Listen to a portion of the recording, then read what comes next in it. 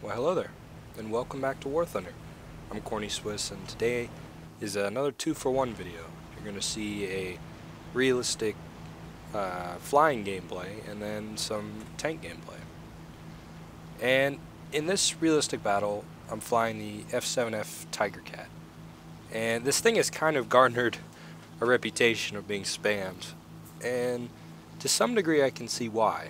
This is actually my first realistic uh, battle on this thing and because I'm trying to get into realistic battles and I'm not very good, obviously I'm trying to pick the planes that either people think are really strong or have forgiving things about them. For example, as long as with this plane it's a really pure energy fighter. So, or at least that's my impression of it. So that means I don't need to bother with turning and things like that. I just line up my attack run, do it, and then run away. And that's totally fine by me because there are plenty of people flying these battles who are really good and have all these different maneuvers and are just going to outclass me completely as a pilot. So that was that's kind of my strategy for picking planes. I've also I also have another clip from a ME410 video uh, game I had that was pretty fun because that's another plane where it's just has a bunch of cannons. You just line up, you shoot them a bunch, and then you fly away. That's it, you know, and hopefully they don't catch you. And sorry if I sound a little weird in uh, this video. I'm starting to get sick, and it kind of sucks, but you know I'm gonna hang in there. So the net of what's happening right now in the battle is the bombers are below me. There's four B-17s. They're all squatted up, and I'm kind of flying sort of top cover. My goal is to not let uh, enemy planes make a pass on him. However, this, there's going to be a Focke-Wulf 190 that's going to make a go at him. He's not going to get any of them, but I'm going to give pursuit and chase him through the formation and then down out the other side.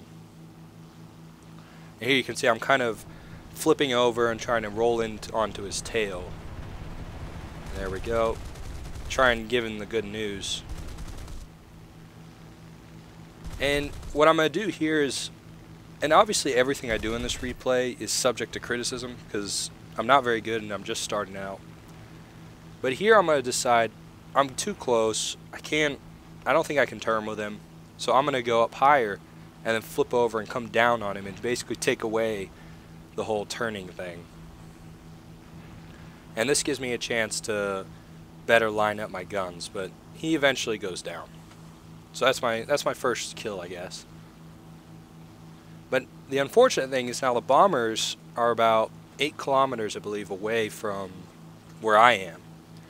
And they're actually being set on by a few different planes, mainly Focke-Wulfs, which obviously is a little a little annoying because we have a we have a bunch of fighters, but we weren't really the bombers were kind of just off doing their own thing.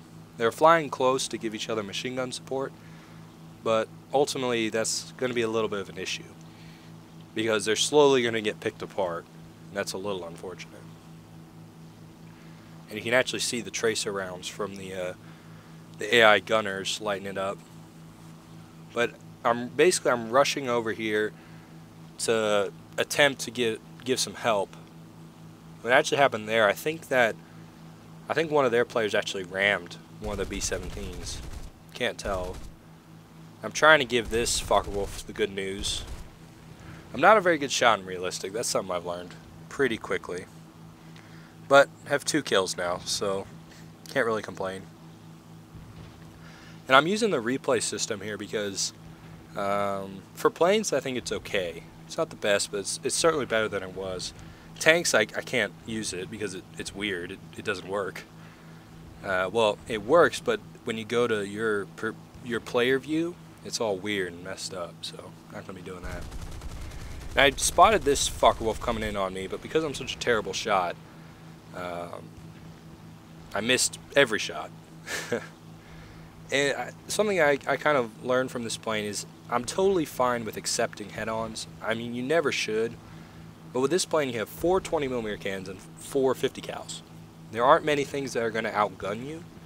So accepting a head-on, getting those shots off and, and breaking away seems like a decent strategy in this plane especially because you're turning is, I think this thing turns all right, but it's certainly not the an agile beast like a Zero. And this guy's climbing, he's a little low on speed, so that was pretty kind of free. I don't know. It wasn't free, that's for sure. I had to work because I'm such a horrible shot. But I mainly wanted to include this replay just to show that uh, I am in fact trying to uh, get into realistic battles. Just because it's they're fun. It's certainly fun when you get into these sort of dogfights. But so right here I got my uh, got my wing chopped off, which is a little unfortunate. I did light during while I was talking. I managed to kill another plane, which was my third kill, and the guy I lit on fire is going to burn out and uh, eventually die. Unfortunately, after I crash. But, um, yeah. So, I'm just going to hit the ground really, really hard. But I think it's okay if we move on to the, the tank replay. Don't you think? In this battle, I'm driving my T-34E on Mozdok in a realistic battle. And this battle I thought was really fun because of how, I guess, aggressively it swung towards our team and then back towards theirs and so on. Because as I come up over this hill, I spot basically their entire enemy team, and they're all bum rushing the cap we just secured. And there's a lot of them. There's certainly a lot of tanks down there. It's going to be very difficult to hit them at this range, that's for sure. So I'm going to pretty quickly decide that I just I can't stay here. Their guns are going to perform better at this range than mine. So I really need to close the distance and get into a position where I can better overwatch the cap and try and prevent them from moving into the cap. The I guess the advantage that my tank has is I have I guess more effective armor at this range because I have spaced armor, I can angle and uh, I have a pretty good turret him. So I should be okay in terms of taking hits, but my gun performance is what's going to hold me back here. And they're actually moving into the cap right now. I can see them moving around in there, but I'm just too far away to really effectively engage. So I'm going to stop here to take some pot shots. But ultimately I'm going to decide I just need to push up there and uh, get into the cap because we're going to be having some a couple KV1s. You can see them in the left part of the screen. They're moving up through the field. So I need to be up there to support them. Because if they can get into the cap, we can basically just outright win the game. Because if they can get there, they now can, one, cap, but then I can swing in front of them onto one of these low hills and basically shoot them all, shoot the enemy before they get to the cap. So we'll basically cap for free and I'll be the, the roadblock.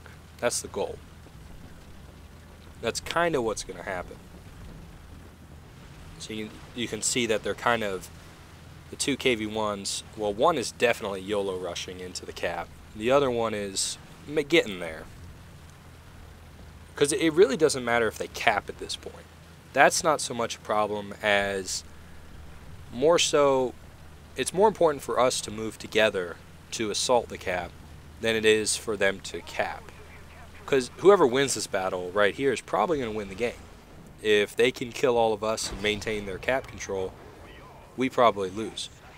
Whereas if we kill all them and uncap, we probably win. So it's fairly important for us to uh, eliminate their numbers advantage in the cap. And we have a bunch of teammates now rolling up behind us to uh, assist. But this is what I was kind of talking about. We have the KV-1s kind of trying to dig out the uh, cap circle. Meanwhile, I'm kind of, I guess you could say, distracting from the, uh, distracting them from the KV-1s by sitting over here and taking the shells from, uh, they're like support fire from farther out in the field. AAA, I'm going to say it, AAA are kind of annoying. Like, I'm not, I know he can damage me, but at the same time, I'm just not horribly concerned. I don't know. but I have been killed by AAA. So it is something to keep note of. We have this 3N moving in on the cap. And there we go. We're we're starting to basically wrest control of this area from the the menace, the enemy menace. And I'm just getting pelted by this uh, AAA. And he's at a range where it's difficult for me to do anything about him. Mainly because I'm buns at shooting. But we're going to give this 3N the good news. And from here on out, we're going to maintain control of the cap.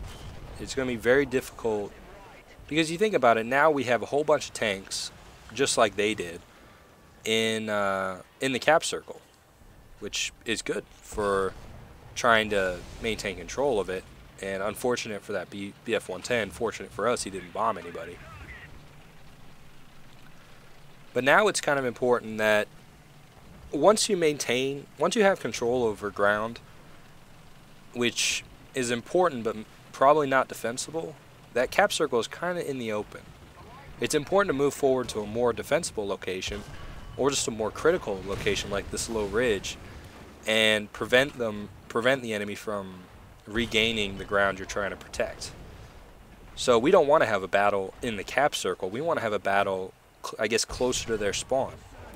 Because the more basically the more the farther we can get away from the cap, the more likely we are to maintain control of the cap because it gives our it gives us time to for our if we lose someone it gives them time to drive all the way back maybe get in a position to overwatch the cap if we get overrun. So it's pretty vital for us to kind of push the issue. And that's kind of what I'm trying to do here. They have a whole bunch of tanks out here that are preventing us from really going any farther.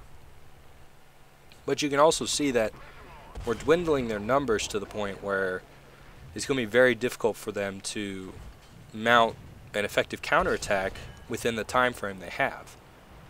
Because as you can see, they're all spawning and they're really far away. And while they've been spawning, we've had our guy, our guys that got knocked out and had extra tanks or the ability to call in extra tanks are rushing back or bringing in planes or whatever. So in essence, because they're, I guess mainly because their counterattack to our initial push didn't really, they couldn't maintain the cap. It might have just been better to sit back, but basically I think we won this from the beginning because we were able to we put the pressure on them to attack the cap, and we were in a better position to counterattack after they gained control. We had two heavily armored KV-1s moving in, and they were able to clean up and uh, take care of the enemy push there. And then I was, and then they were paying attention to the KV-1, so I was able to sit on that little ridge and just shoot away and cause issues for them.